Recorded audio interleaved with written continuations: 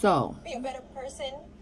on Thursday, I watch um, Thursday. You know the Law and Order, the, the triple shows come on. But sometimes I'll watch. Sometimes I'll wait till I'm at work, which I'm at now.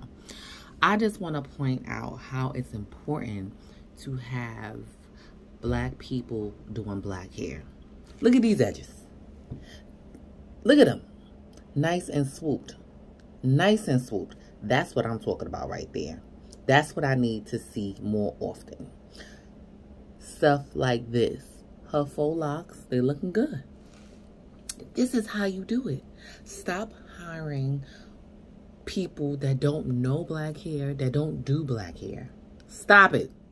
We need to see edges and better wigs.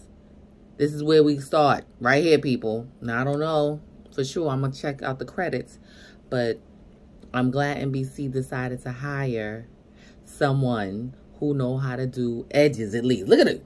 They're laid. She did nice little squiggly and a little loops and dips and hips. Yes, I'm here for it.